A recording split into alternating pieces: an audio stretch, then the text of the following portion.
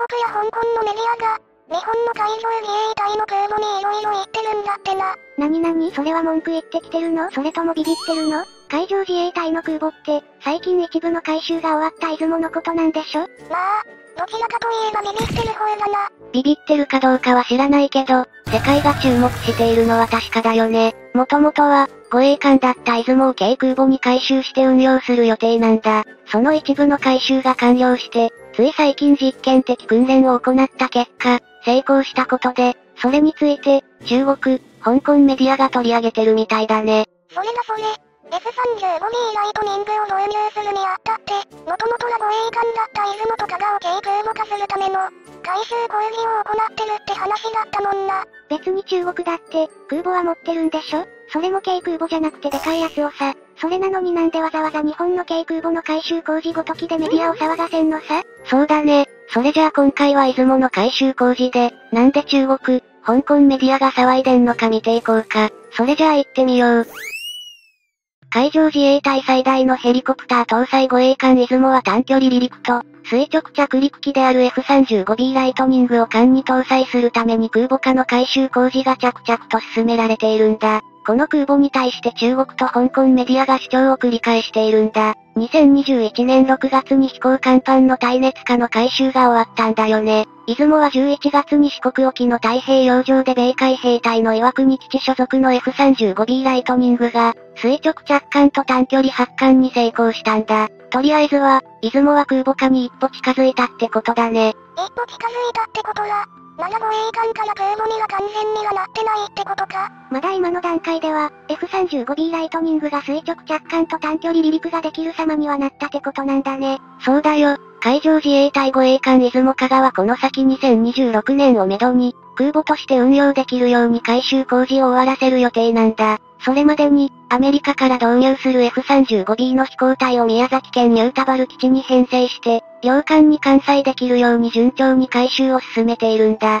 中国メディアでは出雲での F35B 初着陸試験を、日本の軍用艦艇上での固定翼機の発着艦は戦後初めてのことだと報じたんだ。出雲がヘリコプター護衛艦として運用されていたのに、いよいよ軽空母としての本性を表したと報じたんだ。さらに、出雲の基準排水量のことでも、中国空母遼寧の5万8500トンと比べても1万9500トンしかないのにもかかわらず、艦載機として運用する F35B が第5世代の最新鋭の性能を持ったステルス戦闘機であることが、中国の J10 や J15 を圧倒する力を持っている。出雲の戦闘力は遼寧よりも高く、強力な空母になることが予想される。警戒を怠れないと報じたんだ。ほら、やっぱりビビってるんじゃないかよ。空母なんて出かけりゃいいってもんじゃないんだよな。その通りだよ。これにビビって日本の領海に入ってくるな。確かにそうなってくれるとありがたいね。中国がなんでそんなに F35B 戦闘機を警戒しているかというと、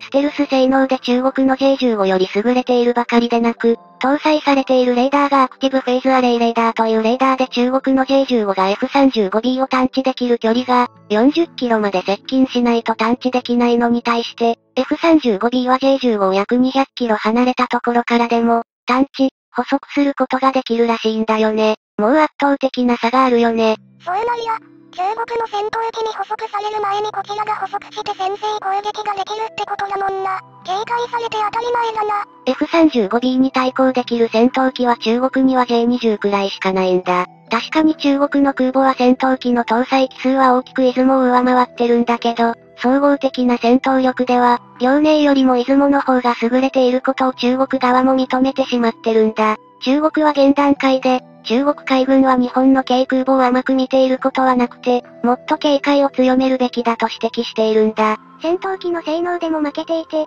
空母でも叶わないならそりゃあ警戒するよね。中国がそれを認めてるってところがすごいよね。一方、香港のメディアでも、出雲の発着艦試験のことを取り上げていて、その中には、日本の海上自衛隊が数年後に隻の空母を保有することによって、海上での戦闘力を大幅に増強させることで中国が増強を急ぐ、航空打撃軍に次ぐ戦力を保有したのではないか、との分析を報じたんだ。香港からも大絶賛じゃないか。確かに強さに関しては認めているんだけどね。こうも言ってるんだよ。日本が南シナ海問題や尖閣諸島問題を関連づけて中国を仮想敵国として意識して、軍事的に対抗するために多額の防衛予算をつぎ込んで、装備や武器を増強し攻撃的になってるんじゃないか？と非難していて、出雲をヘリコプター搭載護衛艦から軽空母に回収していることがその一つではないか、と言ってるんだよ。ちょ、待てよ。日本の領海に大量の船舶を送り込んでヘリちょっかいかけてきてるのらどの国だよ。自国のやってることら棚に上げて、日本が攻撃的になってるだと。本当にどの口が言ってるんだろうね。日本は専守防衛の国だよ。あんたらが余計なことしなければ、多額の税金つぎ込んで軍備を強化する必要なんてないんだよ。いやー、さすがに切れてるね。中国は日本に対してある一つの懸念を抱いてると思うんだよね。香港メディアの記事は、日本の海上自衛隊、航空自衛隊の戦力強化はすでに自衛の枠を超えていて敵地攻撃力を備えている。さらにこのままでは日本が原子力潜水艦を保有する可能性もあるから、今後日本が軍国主義復活を目指してるんじゃないだろうか？と警戒しているんじゃないかな。さすがに話が飛躍しすぎてないか軍国主義復活なんてありえないだろ。この二つのメディアの記事は、結局日本の出雲加賀の軽空母化を脅威に感じていて、批判することで日本を牽制してるんじゃないのかな？絶対そうだよね。だって中国の J20 戦闘機は中国軍では最新鋭って言われてるけど、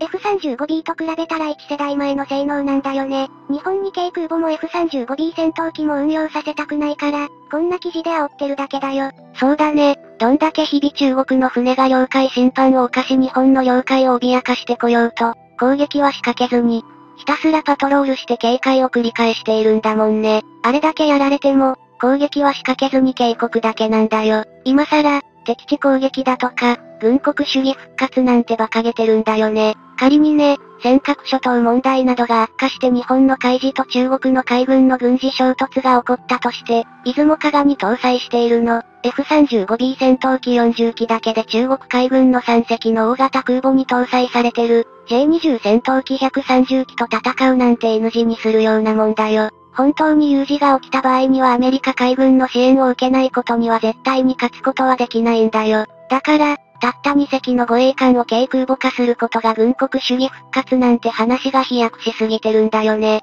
それじゃあ今の段階では、出雲加賀以外の軽空母化計画はまだ進んでいないってことなのか？そうだね。他にもヘリコプター搭載型護衛艦は存在するんだけど、今のところ軽空母化の計画は進んでいないようだね。でもさ、実際に中国と日本が軍事衝突ってなった場合アメリカは本当に支援してくれるのかな？最悪支援を受けれないってなった場合のことも考えてやっぱり最低限の軍備は必要だよね。そうだね。中国が急いで建造を進めている3隻目の空母が収益して空母3隻体制になってた時に、130機の艦載機に対抗するための手段、空母キラーと呼ばれている陸上自衛隊の長射程地対艦ミサイル部隊の配備を、早急に進めておく必要があるだろうね。ええー、そんな強そうな軍備があるんなら早いところ配備を進めてほしいよね。護衛艦の軽空母化や新しい空母の建造は簡単にできることじゃないからね。それよりも、陸上自衛隊のミサイル部隊を各地に配備する方が現実的だね。陸自は1500キロの長射程を持つ人二式地対艦誘導弾のさらなる改良と、配備を急いで進めてもらいたいもんだよね。それじゃあ今回はこの辺で。よかったよ、チャンネル登録してね。